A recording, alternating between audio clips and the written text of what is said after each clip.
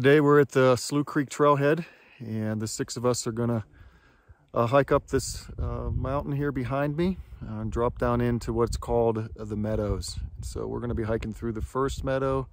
Our campsite is in the second meadow and we're gonna do a lot of fishing up into the third meadow. Uh, overall, it's a, a total hike of around 11 miles in to the top of the third meadow and then back out. So we're gonna be here all day and overnight and uh, looking forward to uh, this backcountry uh, hiking trip. All right, Eric, here we go. Go.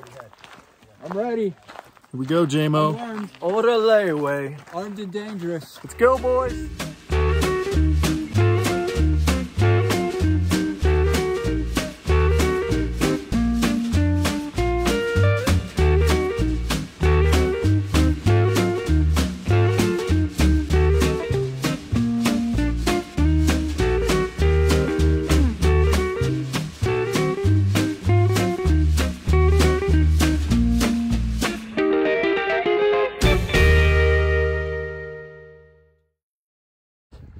Gorgeous place to catch your breath, isn't it?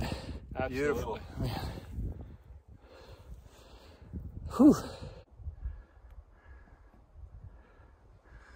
All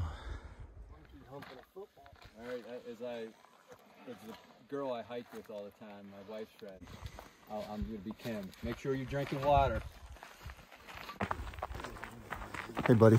What's up? Tell me about tell me about what's on your mind. Yeah, so today is the 20th anniversary of uh, September 11th.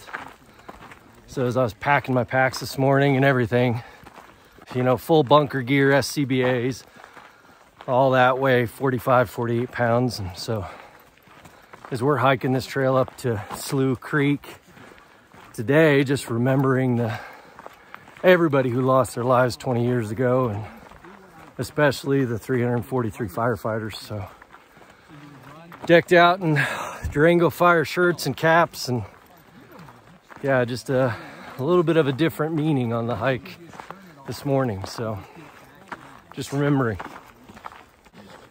Really puts things in perspective, bud.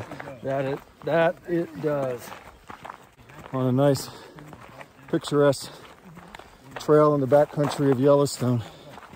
To think of those firefighters who Yeah. carried these same weighted packs up a hundred flight of stairs. About a minute ago, the second plane would have hit the tower. So So yeah, makes me extremely grateful for the country we live in and the people who serve our country. Also makes me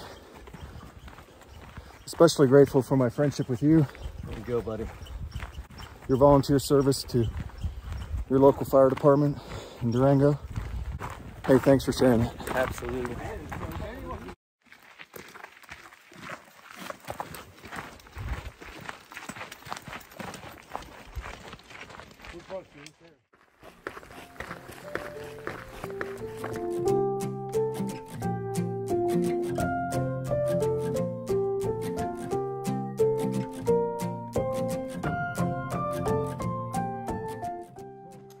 This is the first meadow of the Slough Creek. I love how I made it a little harder to get to. Yeah.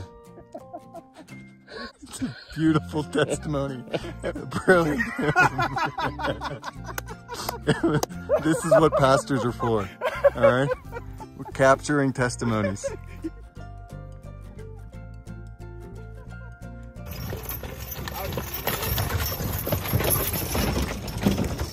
Uh, yeah, we live up there. Oh, cool. Good morning. Morning.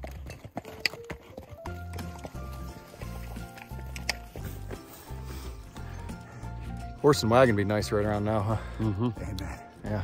There it goes. The other way. I don't think it's going to help us. I think we I missed our ride. Coming back. Not coming back.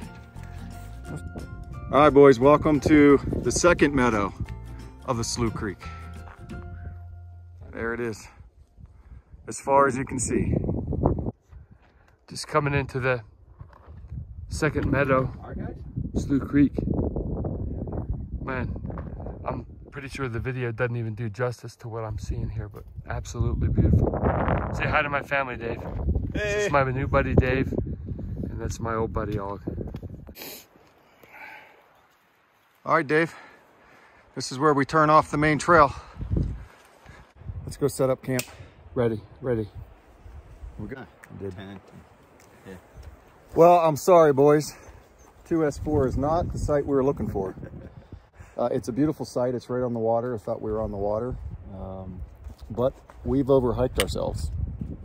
Just uh, chalk it up to another Augie mistake, and we're going to hike back to 2S3.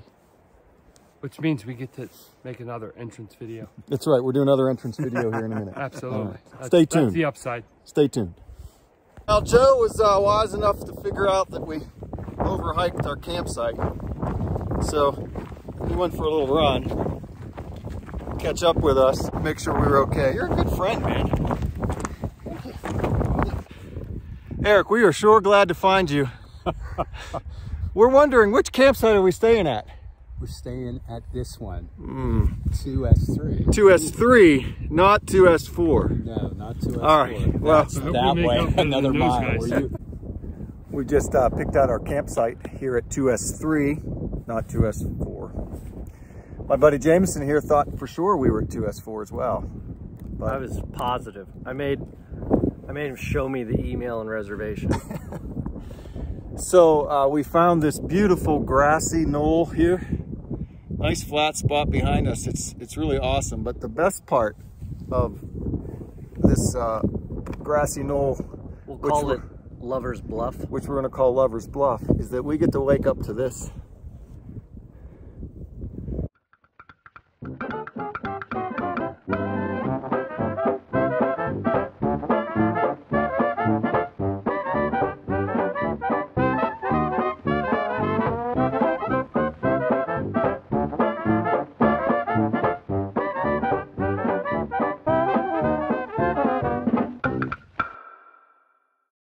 All right, Jameson and I set up our tent on the Lover's Bluff. 150 yards away is the actual. and I'm going down there now. Oh, Joe's gonna set up with us. All right, really a Lover's Bluff now.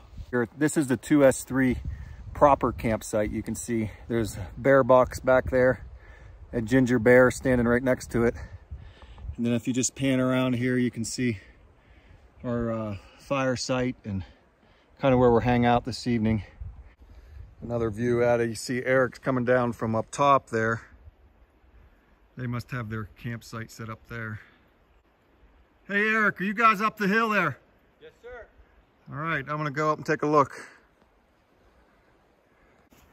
Hey Dave, Yes, sir. man, you picked out an awesome spot for your tent. Take a look. Beautiful. Can't beat the view. We got Dave here and Eric and Bill.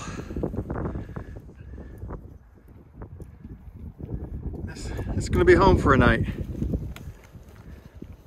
Hey Joe. Hey, man. Welcome to Lover's Bluff.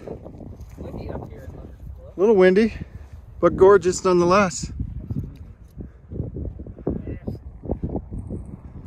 So I thought Augie was going over to go to the bathroom again.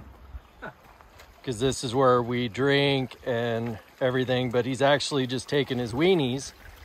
I'm gonna put my weedy in the cold water. Now he's putting the weenies next to my weenies.